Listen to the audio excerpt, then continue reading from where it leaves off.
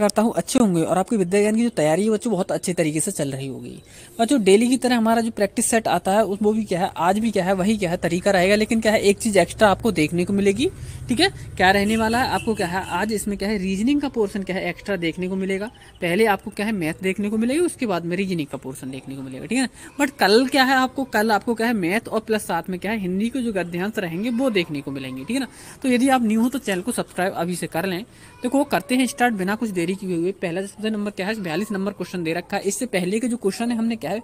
पीछे की क्या है? वीडियो में करा दिए हैं। यदि आपने नहीं देखे हो तो जाकर चैनल पेज पर देख सकते हो, ठीक है? तो देखो, सबसे पहले क्या है? दे रखा है क्वेश्चन एक आयत की लंबाई 20 सेंटीमीटर तथा क्षेत्रफल 360 वर्ग सेंटीमीटर है। तो आयत का परिमाप ज्ञात कीजिए। तो किसी भी आयत का परिमाप तभी ज्ञात कर सकते हो जब आपके पास में क्या है? लंबाई और चौड़ाई हो। लेकिन हमारे पास में तो केवल लंबाई दे रखी है, चौड़ाई अभी नहीं दे रखी है। तो पहले क्या करेंगे? चौड़ाई ज्ञात कर लो यहाँ से, ठीक है? करते हैं। देखो, क्षेत्रफल का जो आयत का फॉर्मूला रहता है, वो एल गुणा बी बराबर कितना दे रखा है? 360 ठीक है?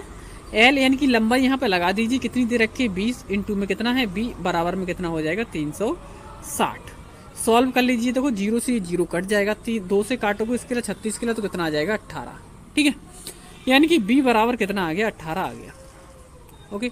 अब इसमें क्या करेंगे? हमारे पास में वी यानी कि चौड़ाई भी आ गई और लंबाई भी है। अब आराम से हम क्या है? इसका क्या है? परिमाप ज्ञात कर सकते हैं। तो जो आयत का परिमाप रहता है, वो क्या रहता है? दो ब्रेकेट में एल प्लस बी किसका? जो परिमाप है ये आयत का, ठीक है? यहाँ पे लगा दीजिए सभी वैल्यू, दो ब्रेकेट में एल एल कितना है हमारे पास में? एल है बीस। ये लगा दिया। प्लस बी बी कितना दे रखा है? अट्ठारह। अट्ठारह और बीस जब ऐड करोगे तो बीस और दस तीस यानी कि अड़तीस हो जाएगा। ठीक है ना? अड़तीस में ये वाला जो टू है, इसकी और क्या है? गुणा कर दीजिए, ठीक है ना? तो दो अट्ठे सोलह, दो तीन छः और एक सात। तो इसका जो आयत का परिमाप बनेगा, वो कितना बनेगा? छिहत्तर सेंटीमीटर, ठीक है ना? अर्थात ऑप्शन नंबर कौन सा बनने वाला है? ये जो ऑप्शन राइट बनेगा, वो क्या है? बी ऑप्शन आपका बिल्कुल राइट आंसर हो जाएगा, ठीक है ना? अगला क्वेश्चन देख लेते हैं, तैतालीसवा नंबर क्वेश्चन बहुत ही इंपोर्टेंट क्वेश्चन है। ऐसे क्वेश्चन आपके पेपर में क्या है? कई बार बन चुके हैं। ठीक है ना? बहुत ही इंपोर्टेंट क्वेश्चन लेके आए हैं। देखिए क्वेश्चन दे रखा है।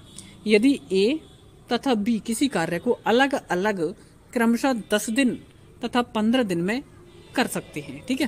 तो दोनों मिलकर काम एक तो दोनों मिलकर काम का एक तिहाई भाग कितने दिन में समाप्त करेंगे? क्वेश्चन को पहले अच्छे तरीके से रीड किया करो, ठीक है? उसके बाद ही क्या है, उसे सॉल्व किया करो तो ज़्यादा बेटर रहेगा, ठीक है? तो देखो, करते हैं सॉल्व किस तरीके से करना है। हमने देखो ए हमारे लिए ए दे रखा है, ये जो ए है, वो कितने दिन में? दस दिन में कर सकता है इसके लिए, ठीक है ना? कितने दिन में? दस दिन में। जबकि जो बी है, वो कितने दिन में कर सकता है? इसी इसी कार्य को वो पंद्रह दिन में कर सकता सॉरी एक सेकेंड गड़बड़ होगी थोड़ी। हाँ। देखो ए ए कितने दिन में कर सकता है? दस दिन में कर सकता है, जबकि जो बी है, वो बी से क्या है? पंद्रह दिन में कर सकता है। ठीक है ना? हमने दोनों का एलसीएम ले लिया, पंद्रह और दस का जो लासा आएगा, वो कितना आएगा? तीस। ये जो तीस क्या आया, ये हमने मान लिया टोटल कार्य है। कितना कार्य है? उन्हें करना है, जो टोटल कार्य है, वो कितना है? तीस काम करना है, ठीक है? तो देखो, ये जो तीस काम है, ये ए कितने दिन में कर सकता है? दस दिन में कर सकता है। तो दस से भाग कर लो, इस तीस के लिए दस तीन तीस, अर्थात इससे हमें ये पता चल गया कि जो ए है, वो एक दिन में तीन कार्य कर रहा है। तो दस दिन में कितना? दस तीन तीस कार्य पूरा कर रहा है। अब जैसे बी को देख लीजिए, पंद्रह से भाग कर लीजिए, तीस के लिए पंद्रह दूनी तीस। इससे हमें ये पता चल गया कि क्या है बी एक दिन में दो कार्य कर रहा है। बी कितना कार्य कर रहा है? दो कार्य कर रहा है। जबकि क्या है ए कितना कार्य कर रहा है? तीन कार्य एक दिन में कर रहा है। अब बात आगे क्या कह रहे हैं कि दोनों मिलकर काम का एक तिहाई भाग, यानी तीस काम नहीं करवा रहा है वो वो एक तिहाई काम करवा रहा है तो तीस का एक तिहाई निकालना चाहोगे तो कितना हो जाएगा? एक तिहाई मतलब एक बटे तीन भाग। एक तिहाई निकालना चाहोगे तो तीन से भाग कर दो, तीस के लिए, यानी कि दस। हमें जो कार्य कराना है, वो कितना कराना है? केवल दस कार्य कराना है, ठीक है ना? वो ये बोल रहा है ना, एक तिहाई एक तिहाई का मतलब क्या है? हमने देखा निकाल के तो कितना आया? दस। अब हमें कार्य कराना है दस, ठीक है ना?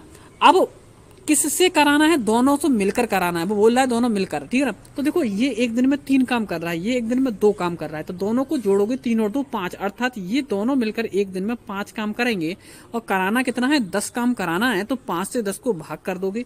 तो पाँच दूनी दस। अर्थात दो दिन में क्या है? ये एक तिहाई कार्य साथ साथ मिलकर कर देंगे। ठीक है ना? तो देख लेते हैं कौन सा ऑप्शन बनेगा। राइट आंसर इसका। जैसे कि ऑप्शन नंबर सी में हमारे लिए दे रखा है दो दिन। ठीक है? अगला क्वेश्चन देख लेते हैं। फोर्टी फोर यानी चवालीस नंबर क्वेश्चन क्या दे रखा है? बोल रहा है कि चार सौ रुपए का पाँच वर्ष का साधारण ब्याज एक सौ सत्तर रुपए है। उसी दर से बारह सौ रुपए का चार वर्ष का साधारण ब्याज कितना होगा? क्वेश्चन को पढ़ लिया अच्छे से। देखो, बहुत ही सिंपल तरीके से शॉर्ट तरीके से क्या है आपको क्वेश्चनों को कराया जाएगा। क्योंकि आपके पास में क्या है, ज़्यादा टाइम नहीं रहता है पेपर में। लेकिन एक बात खूब सोच लेना, जो बच्चा मैथ करके आएगा, वो ज़्यादा क्या है सिलेक्शन का हकदार रहेगा। क्योंकि और पोर्शन तो क्या है, ज़्यादातर क्या है, बच्चे कर जाते हैं, लेकिन क्या है, जो बच्चा क्या है मैथ करता है, वही उसी का क्या है सिलेक्शन ज़्यादातर होता है। ठीक है ना? तो देख लीजिए, करते हैं क्वेश्चन के लिए, अच्छे से। देखो, ये जो क्या दे रखा है, चार सौ रुपये ये क्या दे रखा है, मूलधन दे रखा है, ये समय दे रखा है। ठीक है? और ये क्या है, एक सौ सत्तर क्या दे रखा है, ब्याज दे रखा है। ठीक है ना? ये पहली कंडीशन में सभी चीज़ें दे रखी हैं। दूसरी कंडीशन में देखोगे तो दूसरी कंडीशन में क्या है? ये मूलधन दे रखा है बारह सौ रुपये ये चार क्या दे रखा है? समय दे रखा है। लेकिन इसमें ब्याज नहीं दे रखा है। ब्याज इसमें पूछ रहा है। तो देखो किस तरीके से हम करेंगे। यहाँ पे आपको जो फॉर्मूला है, वो आपको पता होगा कि जो साधारण ब्याज का जो फॉर्मूला होता है, वो क्या होता है? एस आई बराबर P R T upon hundred ठीक है ना? अब आप कहोगे ये S I P R T क्या है? एक बार बता देते हैं क्या है। एस आई मतलब क्या है? यहाँ पे सिंपल इंटरेस्ट यानी कि साधारण ब्याज। पी क्या है यहाँ पे? पी मूलधन है। ठीक है ना? यानी प्रिंसिपल आर क्या है? यहाँ पे रेट यानी कि दर है। और टी क्या है? यहाँ पे टाइम यानी कि समय है। ठीक है? तो आ, आ गया होगा अच्छे से समझ में। अब करते हैं यहाँ पे देखो सॉल्व इसके लिए। हमें ब्याज ज्ञात करना है, ब्याज तभी ज्ञात कर सकते हैं जब हमारे पास में क्या होनी चाहिए, दर यानी कि रेट हो तो हम क्या है, ब्याज को ज्ञात कर सकती हैं। तो पहले हम क्या करेंगे, दर यानी कि क्या है, ब्याज सॉरी रेट ज्ञात कर लें। तो देखो फॉर्मूला क्या रहेगा हमारा? एस आई बराबर पी आर टी अपॉन में हंड्रेड ठीक है?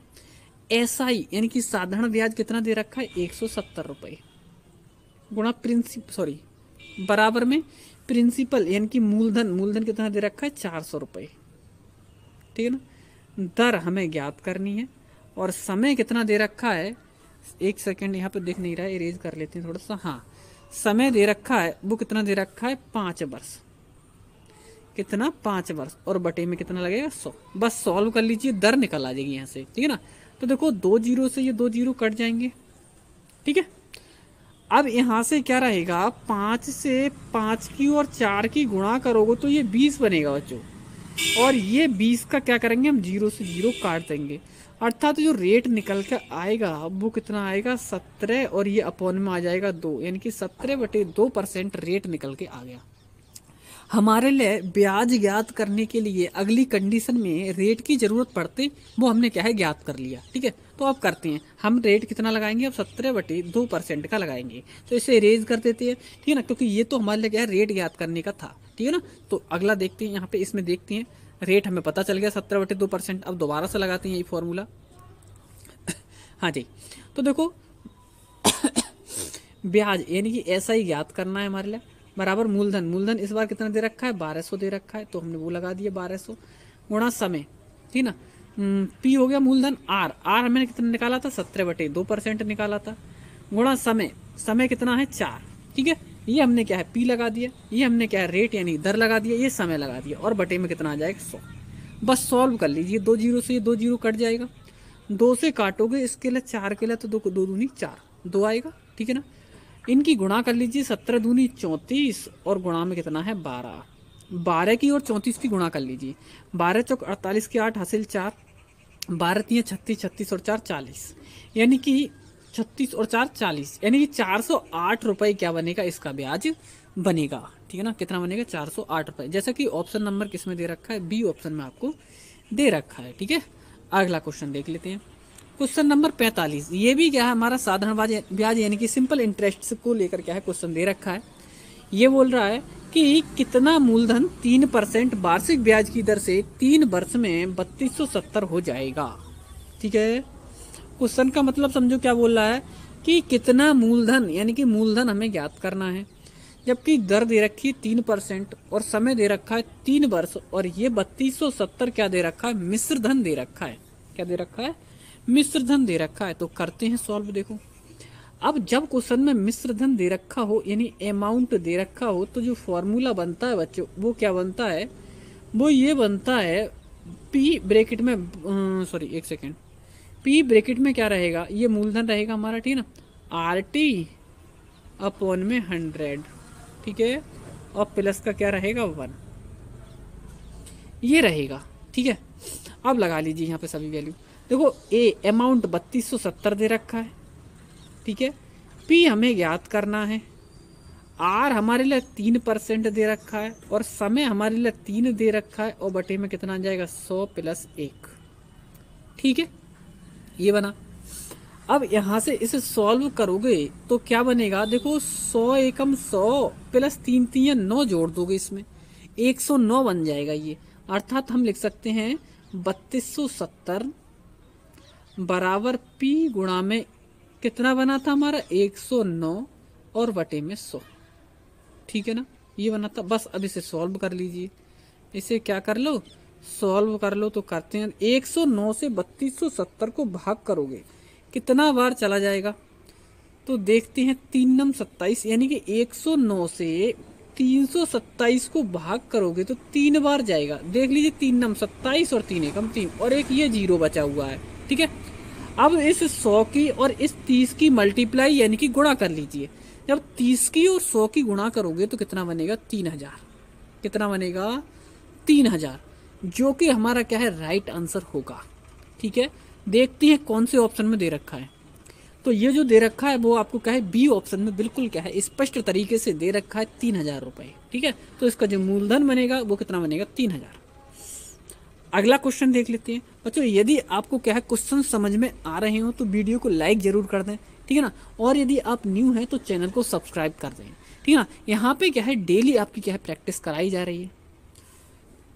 तो देखते हैं अगला क्वेश्चन छियालीस नंबर क्वेश्चन ये आपका क्या है, लाभ हानि से संबंधित क्वेश्चन है। क्या बोल रहा है, एक सौ की वस्तु को एक सौ में बेचने पर प्रतिशत लाभ क्या होगा? सिंपल क्वेश्चन है, बहुत ही क्या है? देखते हैं किस तरीके से करना है आपको। देखो, एक सौ की वस्तु और एक सौ पचास में बेची जा रही है। तो हमें नॉर्मल देखो कितना लाभ हो रहा है उसे। 150 विक्रय मूल्य दे रखा है। इस 150 विक्रय मूल्य में से क्या है? हम क्रय मूल्य कम कर दें। 125 तो कितना आएगा? 25 अर्थात उसे पच्चीस रुपए का लाभ हो रहा है। यदि वो प्रतिशत में ना कहता तो हम डायरेक्ट बोल देते थे कि उसे 25 परसेंट का लाभ हो रहा है। लेकिन वो प्रतिशत लाभ पूछ रहा है तो हमें प्रतिशत में बनाने में कोई दिक्कत नहीं है। क्या करेंगे? परसेंट बनाते हैं तो हम हमेशा क्या करते हैं? सौ से गुणा करते हैं। और बटे में कितना आएगा? क्रय मूल्य। क्रय मूल्य क्या दे रखा है? 125 दे रखा है। बस सॉल्व कर लीजिए इसे। तो देखो 25 पंजे 125 पाँच बार गया। पाँच से सौ को भाग कर दीजिए। पाँच दूनी दस, अर्थात कितना आया? बीस। अर्थात कितना आया? बीस। बीस हमारा बिल्कुल राइट आंसर हो जाएगा, जैसा कि ऑप्शन नंबर सी में दे रखा है, ठीक है ना? बीस परसेंट हमारा बिल्कुल राइट आंसर हो जाएगा। तो इसी तरीके से, बहुत ही शॉर्ट तरीके से यहाँ पे क्वेश्चन कराए जाते हैं बच्चों। बस आपको करना क्या है, केवल क्या है, यदि पसंद आ रहे हैं कि क्वेश्चन तरीका समझ में आ रहा है तो वीडियो को लाइक ज़रूर कर दें, ठीक है? अगला क्वेश्चन देखते हैं। ये आपका क्या है क्वेश्चन दे रखा है इक्यासी किलोमीटर प्रति घंटा की चाल को मीटर प्रति सेकंड में बदलिए। तो देखो, ये जो चाल दे रखी है, किलोमीटर प्रति घंटा में दे रखी है, इसे मीटर प्रति सेकंड में चेंज करनी है। तो एक तरीका समझ लीजिए, यदि कोई चाल किलोमीटर प्रति घंटा में दे रखी हो और मीटर प्रति सेकंड में चेंज करनी हो तो आपको हमेशा ध्यान रखना कि पाँच बट्टे अट्ठारह से गुणा कर देना। ठीक है ना? कितने से गुणा करना है? पाँच बट्टे अट्ठारह से गुणा कर देना। बस आपका जो चाल है, वो क्या है चेंज हो जाएगी किलोमीटर प्रति घंटा से मीटर प्रति सेकंड में, ठीक है ना? तो करते हैं सॉल्व देखो, नौ दूनी अठारह और इसे काटते हैं नौ नम इक्यासी। अब तो कटेगा नहीं तो नौ और पाँच की गुणा कर लीजिए ऊपर वाले नंबरों की कितना आ जाएगा? पैंतालीस और बटे में कितना आ जाएगा? दो। दो से और भाग कर लीजिए पैंतालीस के लिए तो देखो, दो दूनी चार, फिर से दो दूनी चार पॉइंट बढ़ाया, दस हो गया, दो पंजे दस। अर्थात बाईस पॉइंट पाँच मीटर प्रति सेकंड अर्थात साढ़े बाईस मीटर प्रति सेकंड की क्या है इसकी चाल? आ जाएगी। जैसा कि ऑप्शन नंबर किसमें दे रखा है? डी ऑप्शन में क्या है? दे रखा है। ठीक है ना? अगला क्वेश्चन देख लेते हैं। अड़तालीस नंबर क्वेश्चन अड़तालीस नंबर क्वेश्चन दे रखा है, किसी दुकानदार को अठारह रुपए प्रति किलोग्राम की चीनी बेचने से दस परसेंट की हानि होती है। वह किस भाव से बेचे कि वह उसे दस परसेंट का लाभ हो? किस रेट से बेचे अर्थात कित भा, किस भाव से बेचे कि उसे दस परसेंट का लाभ हो। लेकिन जो अभी बेच रहा है अभी उसे क्या हो रहा है? अभी यदि क्या है वो अठारह रुपए प्रति किलोग्राम की दर से बेच रहा है तो उसे दस परसेंट की हानि हो रही है। जब 10 परसेंट की उसे हानि हो रही है अठारह रुपए प्रति किलोग्राम बेचने से तो पहले हम ये देखेंगे कि वस्तु का क्रय मूल्य क्या है। तो देखो हमने मान लिया एक किलोग्राम ही उसने क्या है वस्तु अर्थात चीनी खरीदी है। यदि हम इसमें क्या है, लगा दें यहाँ पे क्या है, सौ वटे में, ठीक है ना? ये हानि हो रही है, हानि हमेशा सौ में से घटा के लिखेंगे, ठीक है ना? सौ बटे में सौ में से घटाओगे, हानि तो कितना हो जाएगा? नब्बे गुणा। अब ये हमारा क्या बनेगा? ये हमारा क्या बनेगा? इसे सॉल्व करेंगे तो ये हमारा क्या बन जाएगा? क्रेमूल बन जाएगा। अब इस पर वो क्या चाहता है? लाभ चाहता है। कितना चाहता है दस परसेंट का लाभ मतलब चाहता है। यदि आप दस परसेंट का लाभ चाहता है तो आपको क्या है, लाभ हमेशा सौ में जोड़ के लिखना है, ठीक है ना? तो देखो, सौ में जोड़ दोगे लाभ कितना है, दस तो कितना हो जाएगा, एक सौ दस और बटे में कितना रहेगा, सौ, ठीक है? ये सौ से सौ कट जाएगा, यहाँ ज़ीरो से ज़ीरो कट जाएगा, नौ से काटोगे, नौ दूनी अठारह, ग्यारह की और दो की गुणा कर लीजिए, कितना बनेगा, बाईस। जैसा कि ऑप्शन नंबर आपका दे रखा है ऑप्शन नंबर ए में, ठीक है? आशा करता हूँ अच्छे तरीके से आपको क्या समझ में आया होगा। सिंपल यदि आपको ऐसे नहीं समझ में आ रहा तो आपको सीधे सीधे ये करना है कि क्या है, यहाँ पे दस परसेंट की हानि दे रखी है, ठीक है दस परसेंट की हानि दे रखी है तो उसे क्या है, उल्टा करके लगा दो, सौ बटे नब्बे। दूसरा वाला लाभ या हानि दे रखी है वो क्या है, यहाँ पे करके लगा दोगे, यानी कि लाभ है तो सौ में जोड़ के सीधा करके लगाना है एक सौ दस बटे सौ। सॉल्व करोगे तो राइट आंसर बन जाएगा, ठीक है? सिंपल दोबारा से बताते हैं। देखो नॉर्मल ये दे रखा है, आठ, अट्ठारह दे रखा है। अट्ठारह दे रखा है। यदि जो हानि दे रखी है दस परसेंट, ठीक है ना? हानि तो क्या है, बटे में लिखना है, आपको शायद सौ में से माइनस करके हानि दे रखी है तो नब्बे आएगा। दूसरा दे रखा है, लाभ या हानि। यदि लाभ है तो सौ में क्या है, जोड़ के लिखेंगे तो कितना हो जाएगा, एक सौ दस। बस सॉल्व करोगे तो ज़ीरो से ज़ीरो कट जाएगा, नौ दूनी अठारह, ग्यारह और दो की गुणा करोगे तो कितना हो जाएगा, बाईस। कैसे भी कर सकते हो, ठीक है ना? अगला क्वेश्चन देखते हैं। ये भी बहुत शॉर्ट तरीके से आपको बताया जाएगा। देखो क्वेश्चन दे रखा है, राम का वेतन श्याम के वेतन से 20 परसेंट कम है। तो श्याम का वेतन, राम के वेतन से कितने प्रतिशत अधिक है? तो देखो, कैसे करना है आपको? ये जो नंबर दे रखा है, वो नंबर लिख लिया। गुड़ा में सौ लगाना है। अपॉन में क्या लगाना है? यदि यहाँ पे कमी हो रही हो तो सौ में से माइनस करके लिखना है अपॉन में। यदि यहाँ पे वृद्धि हो रही है तो सौ में प्लस करके लिखना है। तो कमी हो रही है, यानी कम बोल रहा है वो। तो सौ में से माइनस करेंगे, बीस के लिए कितना आ जाएगा? अस्सी। बस सॉल्व कर लीजिए, आपका आंसर बन जाएगा। देखो, बीस चौक अस्सी, चार बार गया, चार से इस सौ को भाग करोगे, कितना आ जाएगा? चार दून आठ, एक आठ, एक बच्चा सॉरी दो बच्चा बीस हो गया, चार पंजे बीस। अर्थात पच्चीस परसेंट क्या है? वेतन, राम के वेतन से अधिक है, ठीक है ना? तो आपका राइट आंसर बनेगा, वो कौन सा बनेगा? जैसा कि ऑप्शन नंबर बी में दे रखा है। अगला क्वेश्चन देख लेते हैं। पचास नंबर क्वेश्चन एवरेज से लेकर, यानी औसत से लेकर दे रखा है। ये भी क्वेश्चन आपके कई बार दो दो, तीन तीन क्वेश्चन बनते हैं आपके औसत से। ठीक है ना? तो देखो, क्या दे रखा है क्वेश्चन में? बोला है, चार बच्चों की औसत आयु नौ वर्ष है। एक और बच्चा आगमन से, यानी आ जाता है, से औसत आयु दस वर्ष हो जाती है। नवांकुत, नव, नवांग, सॉरी, नव आगंतुक बच्चे की आयु क्या है? ठीक है? तो देखो किस तरीके से सॉल्व करना है आपको। सीधा सिंपल दे रखा है, चार बच्चे हैं। इनका औसत यानी एवरेज दे रखा है नौ। इनका टोटल देख लो कितना होगा। हमेशा ध्यान रखना, इनकी यानी यानी जो भी संख्या होती है, उस संख्या की क्या है, गुणा एवरेज यानी औसत से कर देते हैं तो टोटल बन जाता है। तो चार नम छत्तीस, ये टोटल बन गया। ठीक है? अब बोल रहा है कि एक बच्चा और आ गया तो बच्चे हो गए पाँच। औसत बोल रहा है, एक बढ़ जाता है। अब औसत क्या है? नया औसत कितना हो जाता है? दस हो जाता है। फिर से इनकी दोनों की मल्टीप्लाई कर लो तो इनका भी क्या है? योग बन जाएगा। दस पंजे कितना हो जाएगा? पचास। यानी कि नए बच्चे आने से जो इनका योग हो गया, वो हो गया पचास वर्ष। जबकि पहले चार बच्चों का योग कितना था? छत्तीस वर्ष। नए बच्चे की आयु पूछ रहा है। तो हम क्या करेंगे, इस पचास में से इस छत्तीस को माइनस कर देंगे। दस में से छः माइनस करोगे चार और चार में से तीन माइनस करोगे तो एक। अर्थात जो नया बच्चा आया है, उसकी जो आयु रहेगी, वो कितनी रहेगी? चौदह वर्ष रहेगी। ठीक है जैसा कि ऑप्शन नंबर आपको डी में दे रखा है। ठीक। अब रीजनिंग का पोर्सन देख लेते हैं बच्चों। रीजनिंग का पोर्सन क्या दे रखा है? सबसे पहले क्या है? यहाँ पे देख लीजिए, अच्छे से पढ़ लीजिए। ठीक है ना? किस तरीके से आपके रीजनिंग के क्वेश्चन रहने वाले हैं। देखो, बोल रहा है, प्रश्न एक से चार में, प्रत्येक प्रश्न में चार ए बी सी डी दर्शाए गए हैं। इन चारों चित्रों में से तीन चित्र किसी प्रकार से क्या है, समान है। जबकि एक चित्र क्या है, अन्य से भिन्न है। अन्य भिन्न चित्र का चयन करें। यानी कि इसमें जो विषम है, संगत नहीं है इनके, उसे क्या है, हमें चुनना है। ठीक है? तो देख लीजिए अच्छे से। क्या दे रखा है? देखो, सबसे पहले इसमें क्या है, अलग यानी कि भिन्न चुनना है हमारे लिए। यहाँ पे दे रखा है, नल दे रखा है और इससे क्या है, पानी निकल रहा है। यहाँ पे डायरेक्ट क्या है, ये पानी की बूंद दे रखी है, ठीक है? और यहाँ पे क्या है, ये बारिश दे रखी है। तो और यहाँ पे क्या है, अर्थ यानी कि पृथ्वी दे रखी है, उसमें क्या है, ये पौधा लगा हुआ है, ठीक है? तो देखो, यहाँ पे भी पानी की बात हो रही है, यहाँ पे भी पानी की बात हो रही है, यहाँ पे भी पानी की बात हो रही है। लेकिन यहाँ पे कोई पानी का क्या है, संबंध नहीं है तो ये क्या हो जाएगा, आपका बिल्कुल अलग हो जाएगा, ठीक है? अगला क्वेश्चन देखते हैं। क्वेश्चन नंबर दो। क्वेश्चन नंबर दो में बताना है आपको कौन सा अलग यानी कि भिन्न है। का दे रखा है, ई दे रखी है, माँ दे रखा है, पा दे रखा है। तो आपको बिल्कुल देखते ही पता चल रहा होगा, इसका जो राइट आंसर बनेगा वो कौन सा बी ऑप्शन यानी कि ई ठीक है ना? क्योंकि ये जो हमारे रहेंगे, ये जो अक्षर रहेंगे, का से और क्या है, या ये ज्ञा वाले हैं, ठीक है ना? स्वर और व्यंजन को देखते हुए, ठीक है ना?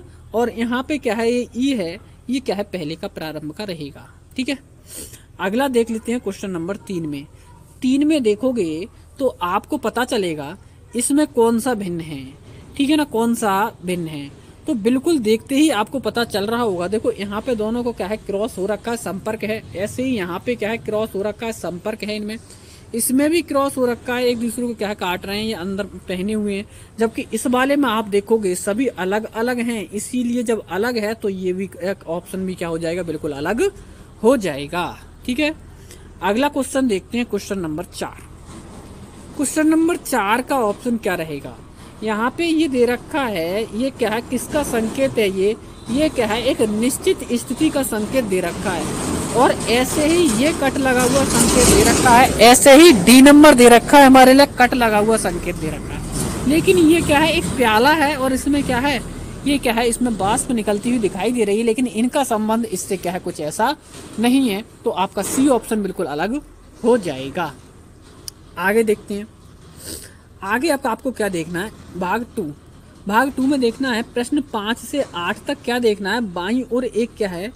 प्रश्न चित्र दिया गया है। बाई और ये प्रश्न चित्र दिया गया है। दाई और तीन चार आकृति दी गई हैं। चिन्हित उत्तर दिए गए हैं। उत्तर चित्रों में से क्या है? प्रश्न चित्र के समरूप चित्र देखना है। इसके समरूप कौन सा चित्र है? इनके समान कौन सा चित्र है? वो ऑप्शन आपको बताना है। तो देखो ए तो बिल्कुल अलग हो जाएगा। ठीक है ना? ए तो क्या हो जाएगा? बिल्कुल अलग हो जाएगा। बी बिल्कुल सही हो जाएगा। ठीक है ना? सी भी अलग हो जाएगा। क्योंकि सी वाले में कुछ इस तरीके से बांधे रखी है लाइनें। इसलिए इसमें किसी लाइन से ही नहीं बांधा गया है। जबकि आपको क्या दिखेगा? एक बार दोबारा से रेज करके दिखाते हैं। बी में बिल्कुल स्पष्ट तरीके से दिखेगा, इस तरीके से बंधा हुआ ये, ठीक है? तो ऑप्शन नंबर बी आपका बिल्कुल राइट आंसर हो जाएगा। अगला क्वेश्चन देख लेते हैं क्वेश्चन नंबर छः छह नंबर क्वेश्चन में क्या दे रखा है, देखो। इसके समरूप आकृति आपको देख के बतानी है। तो सबसे पहले क्या देखोगे, जो डी ऑप्शन दे रखा है आपका, ये थोड़ा बड़ा कर दिया है इससे, और कुछ नहीं। ये तो बिल्कुल ही अलग कर दिया, इसका मुँह दूसरी तरफ़ कर दिया, जबकि ए में आपका बिल्कुल राइट आंसर बिल्कुल सेम आकृति आपको, दिख रही होगी। क्वेश्चन नंबर सात देख लेते हैं। सात नंबर क्वेश्चन में इसकी तरह कौन सी आकृति दिख रही है? तो देखो, सात नंबर क्वेश्चन में देखोगे तो क्या अलग मिलेगा? देखो, पहले ऑप्शन में तो ये अलग है। दिख रहा होगा आपको, यहाँ ऐसा है नहीं। दूसरे ऑप्शन में क्या है? इसकी चोंच अलग है ये। ये दिख रही होगी आपको। ठीक है ना? जबकि डी ऑप्शन में ये एक्स्ट्रा आगे की तरफ़ बढ़ा के दे रखा है। जबकि सी ऑप्शन आपका बिल्कुल राइट आंसर हो जाएगा। ठीक है? अगला क्वेश्चन देखते हैं क्वेश्चन नंबर आठ। आठ नंबर में और हमें देखना है कौन सा विषम है। आठ नंबर क्वेश्चन में देखना है हमें कौन सा सॉरी विषम नहीं सेम है, यानी इसके समरूप आकृति है। ठीक है? अब देखो, यहाँ पे थोड़ा सा पार्ट काट रहा है ये। और क्या है किस इस कोने से इस कोने में गया हुआ है तो ये थोड़ा सा पार्ट काट रहा है, इस कोने से इस कोने में गया हुआ है तो इसका राइट आंसर हो जाएगा ऑप्शन नंबर डी ठीक है ना? अगला क्वेश्चन देखिए। अब अगला जो भाग तीन है, उसमें क्या देखना है? आपको देखना है इसमें कि कौन सी आकृति यहाँ पे लगाएँ, इन चार उत्तर आकृतियों में से, कि ये जो दी गई आकृति हमारी पूर्ण हो जाए। ठीक है? तो देखते हैं, देखो कौन सी आकृति लगाने पर यह आकृति पूर्ण होगी। देखो डी ऑप्शन तो बिल्कुल नहीं होगा। कोई मैच ही नहीं खा रहा है इसमें। अब उसके बाद में देखो, क्या बचेगा? आपको बी ऑप्शन भी नहीं होगा, क्योंकि यहाँ पे क्या है, ये सर्किल वाला पार्ट है और यहाँ पे क्या है, ये इस तरीके से क्या है, ये वर्ग दे रखा है तो ये भी नहीं होगा।